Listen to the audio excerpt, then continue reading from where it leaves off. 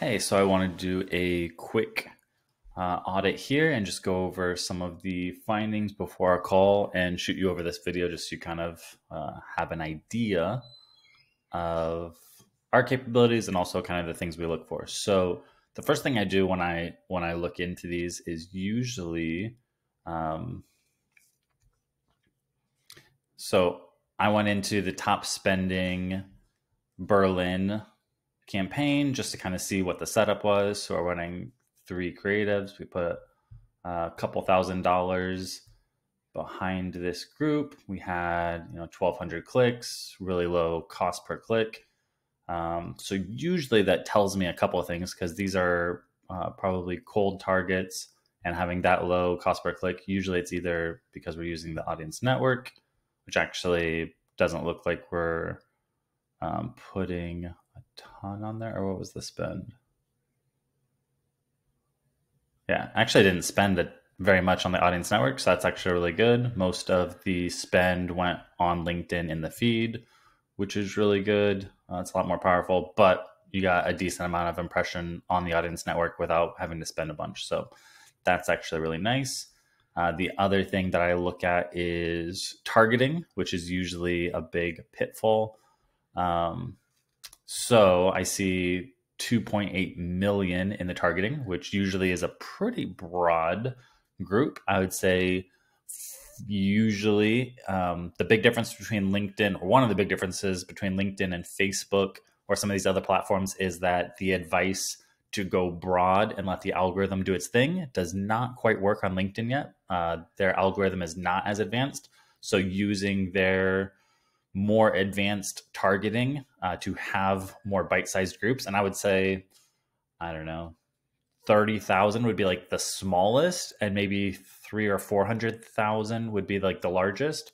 Uh, 2.8 million is pretty wide. And then as i'm looking at the targeting this this little check mark is probably the main thing that um, led to maybe poor results because audience expansion again you know it's a less mature platform than like facebook so you really can't trust it to just do its thing.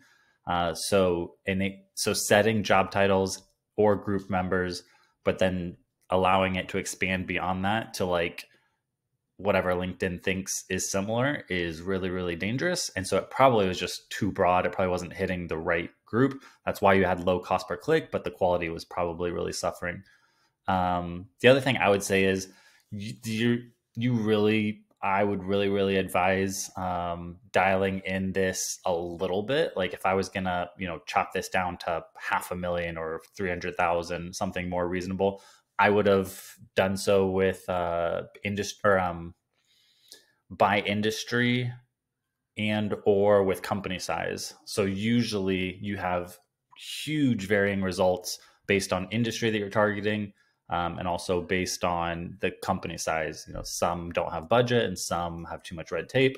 Um, but that audience expansion is probably what led to like really poor results there.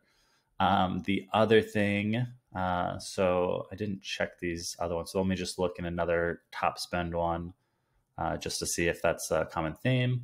Uh, so just one creative here. Uh, normally you'd want a, a few more options um, with a couple thousand dollars behind it but that's not the okay so this one also has 1.8 million. This also has audience expansion and has kind of the same things so i would say just off first, first glance that's one of the big things that probably led to some poor results. And then as i did a quick check the other thing that i saw that is probably a little more uh, a reason why we didn't see results is so when i go into audiences it was just uploaded lists um, lists that were uploaded to run ads against, um, you know, one of these campaigns. So what I don't see is any retargeting audiences because uh, when I go over to uh, their website and I look at their website traffic, they actually have a decent authority score.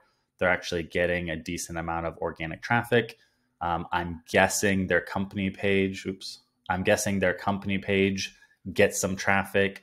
Um, all of those clicks and interactions uh, with your cold ads so all that money that you spent to get in front of that group, if they did visit the website or visit the company page or um, interacted with that ad, those could have been retargeting audiences that we create and then retarget them with you know those those ticket sales uh, the ads and probably would have had a lot better results because from my experience um, the cold layer of ads is basically like an investment to get digital hand raisers um, let me show you here.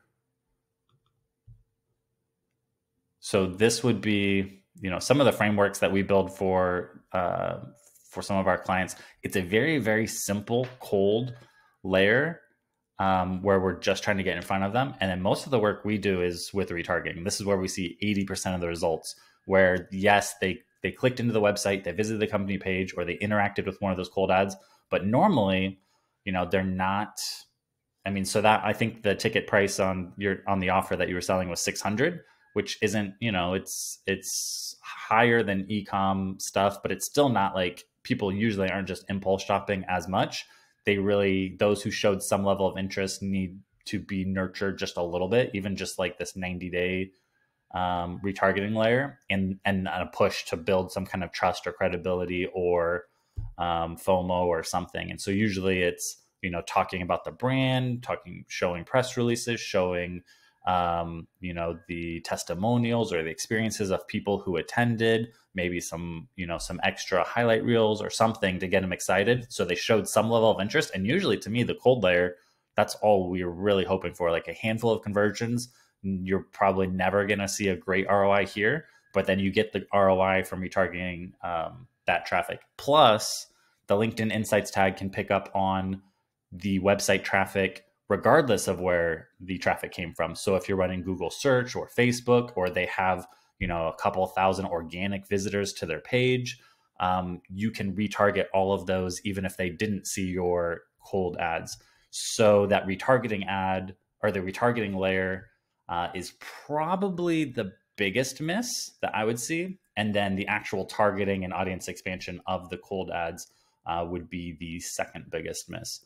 Um, I did see that there were some. Uh, so if I actually sort this by conversions and I do a breakdown by conversions, I can see that the conversions you actually wanted were, I think, these Eventbrite registrations. Um, and so it looks like only there was only one campaign that had Eventbrite registrations um, and that campaign only had, I think, $700 worth of spend. So maybe that's one other thing I would have done is if, you know, if we're running this ad spend and we're trying all these different campaigns and one actually starts to get traction, I would have learned from that and, and pulled more money there. But the two biggest things is a retargeting strategy is an absolute, absolute must.